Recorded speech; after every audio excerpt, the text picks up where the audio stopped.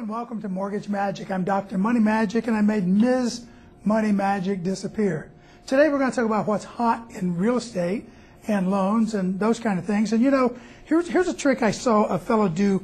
As a matter of fact, this is the same way that David Copperfield made the Statue of Liberty disappear. And I saw a fellow make a 1,200 pound Statue of Liberty in a church disappear.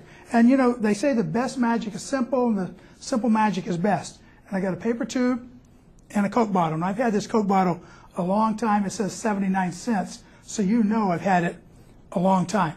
So what I'm going to do is I put the paper tube over the Coke bottle and I do a little abracadabra to make it disappear. But you know, the paper is not quite long enough. So I guess there's got to be something else going on here to do this. So what I'm going to do, I'm going to put this over here.